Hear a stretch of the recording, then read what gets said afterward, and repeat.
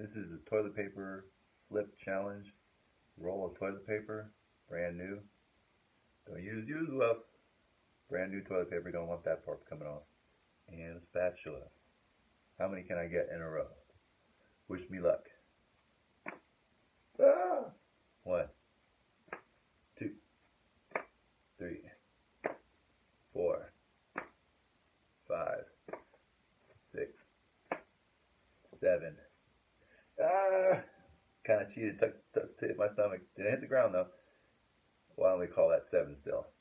Ah!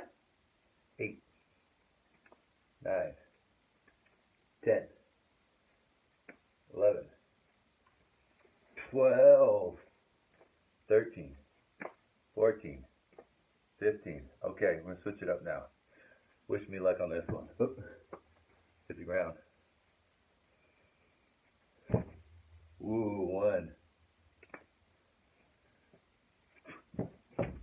Two. Okay, I'm gonna go behind the back now. Toughest one.